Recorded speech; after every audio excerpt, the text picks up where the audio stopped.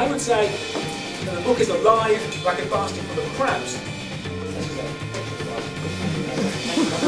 Um, meaning that it, it attacks us, it's a riot, it's an orgy, it's um, it's everything all at once.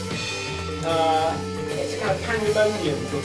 It's uh, an anatomy of melancholy, it's an almanac of underworld slang, it's a series of vignettes that are pornographic. Uh, there's an awful lot happening in Naked Lunch, which is why it's not a lunch that's to everybody's taste.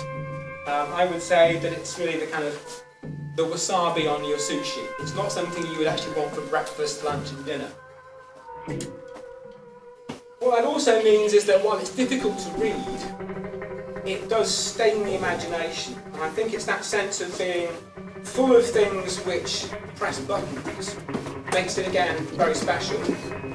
It's a cabinet of curiosities in the old-fashioned sense of a strange collection of odd objects put together in a way that somehow works. Um, and that means that, historically speaking, it was interesting because it was kind of like a Pandora's box. It literally opened the lid on things you could put in a novel, which is also one reason why it may uh, have big problems with censorship, inevitably, because it's also a very dirty book.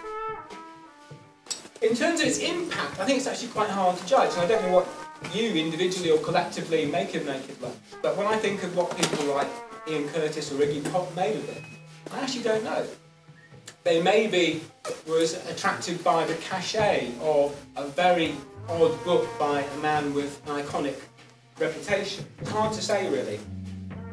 But I think I would sum it up by saying it's a perplexing book. It's both impossible to put down, impossible to pin down, and yet also it doesn't let you go. So for me, it's enigmatic, and I particularly always like this photograph of William Burroughs, taken in 1953 in New York, where he is posing with a sphinx. Um, I actually tried to recreate this photograph a few years ago, thinking this would be an interesting exercise. Uh, never try and act with a sphinx. It doesn't really work. The sphinx looks great, and you look kind of silly standing next to it. Burroughs kind of carries it off because there's something sphinx-like about him. In other words, he embodies a certain puzzle, a certain kind of secret.